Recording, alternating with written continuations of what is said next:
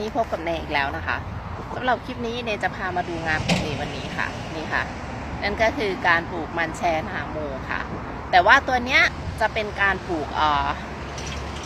ต้นพันธุ์นะนะคะ คือต้นพันธุ์ต้นที่เราเอาไว้ทำพันธุ์แล้วคันนี้ยคือต้นมันก็หลายต้นมันก็ตายแล้วก็เลยต้องเอามาปลูกใหม่ค่ะ ไปดูกันค่ะว่าทำยังไงไปเลยค่ะ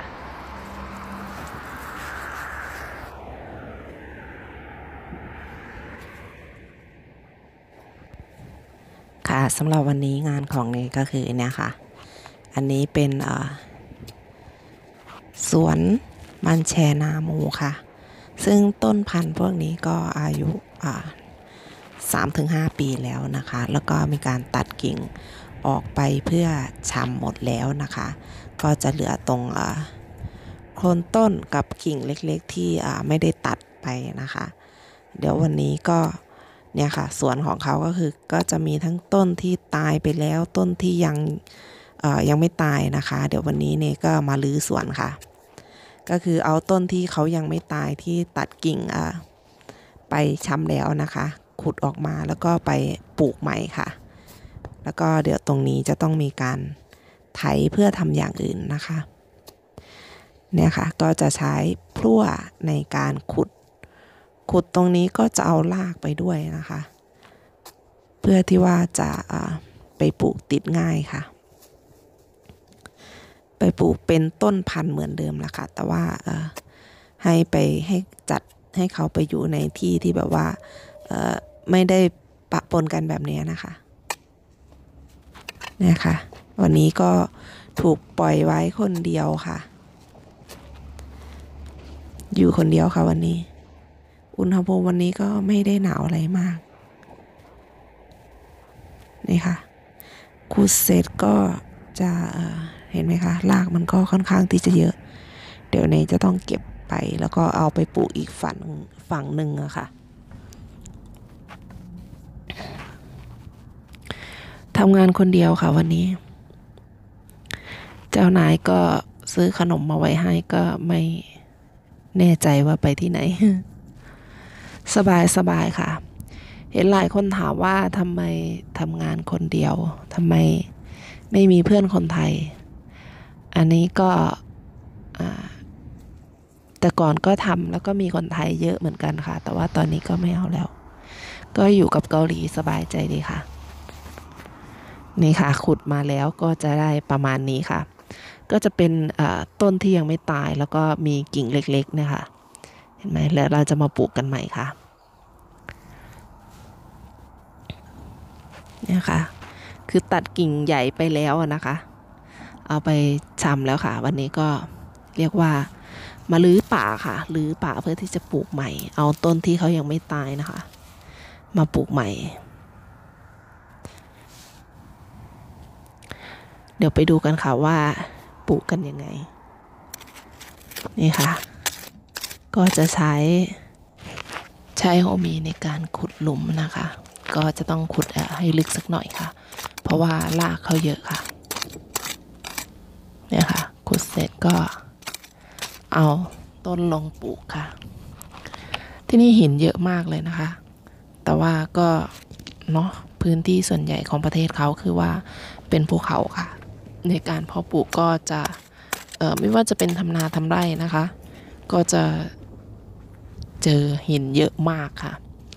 บ้านเขาทำไร่ทำนาไม่ได้สบายเหมือนบ้านเรานะคะ หินเยอะมาก แต่ว่าดินบ้านเขาเนี่ยรวมๆถือว่าดินดีนะคะเรียกว่าส่วนใหญ่เนี่ยเป็นดินดำค่ะ เป็นดินภูเขาอะค่ะ คือพวกแร่ธาตุอะไรหลาย ๆ อย่างก็คือดีอะค่ะ น้ำก็ดีดินก็ดีค่ะทำให้การเพาะปลูกของเขาเนี่ย ไม่ว่าจะ อยู่ตามภูเขาตามไร่ตามนาคือแบบว่าได้ผลนะคะ ว่าได้ผลเรียกว่าเกือบร้อยเปอร์เซ็นเลยก็ว่าได้ค่ะนะคะก็จะอยู่แบบนี้ทั้งวันค่ะ แล้วก็ประมาณเที่ยงตรงเจ้านายก็จะมารับไปกินข้าวค่ะ ก็พักเที่ยงหนึ่งชั่วโมงค่ะ เนี่ยหินเยอะมากค่ะ ก็สบายสบายค่ะทำคนเดียว เหนื่อยก็พัก แล้วก็ทำต่อไปเรื่อยๆค่ะ เป็นงานรายวันที่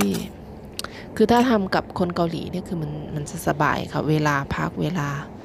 เอ่ออะไรต่างๆเนี่ยคือมันจะตรงเป๊ะเเเลยค่ะ จะไม่เหมือนกับเอ่อการทำงานกับคนไทยนะคะ ก็เลยทำให้เนแยกตัวออกมาเพื่อที่จะทำงานกับคนเกาหลีนะคะ คือเวลาเขาจะเป๊ะมากเลย เวลาเข้างาน เวลาออกงาน เวลาพักเที่ยง เวลากินชำทุกสิ่งอย่างเขาจะเขาจะฟิกหมดนะคะจะไม่เหมือนกับทำกับคนไทยค่ะ ถ้าทำกับคนไทยคือแบบว่า คือก็คือเข้าใจอะเนาะ คนไทยก็ค่อนข้างจะใจดี บางทีทำไปแบบว่า ใกล้จะเสร็จแล้วก็อีกนิดนึง อีกนิดนึงอย่างเงี้ย คือแบบว่า ก็ก็เลยทำให้แบบไม่ว่าเวลาทำงานหรือเวลาอะไรอย่างเงี้ยก็จะมีการเลทแล้วเสร็จแล้วคนเกาหลีแล้วแบบว่าส่วนใหญ่นะที่เจอก็พยายามเอาเปรียบแรงงานอยู่แล้วนะคะ มันก็เลยแบบว่าเกิดเกิดการแบบคือเคยเอาเปรียบได้ก็จะเอาเปรียบเรื่อยๆนะคะ ก็เลยแบบว่าดีที่สุดคือทำกับคนเกาหลีค่ะเนี่ยค่ะ มีแสงพระอาทิตย์ก็ไม่ไม่ร้อนค่ะหนาว อุณหภูมิวันนี้อยู่ที่ 12 องศานะคะ ก็เรียกได้ว่างานของเนก็จะเป็นงาน 3D นะคะ ถือว่าค่อนข้างที่จะหนัก ก็คนเกาหลีสมัยใหม่เขาก็ไม่ทำกันนะคะ ก็จะส่วนใหญ่ก็จะเป็นแรงงานต่างชาตินะคะที่เข้ามาทำ คล้ายๆ กับบ้านเราก็เป็นพวกพม่าหรือเปล่า พม่าเขมรอพยพอะไรแบบนั้นค่ะ แต่ไม่เป็นไรค่ะทำแล้วสบายใจดีค่ะ แล้วก็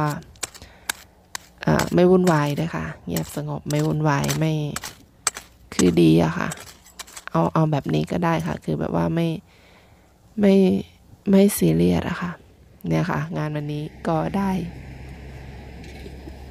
ทั้งวันได้แค่เนี้ยค่ะ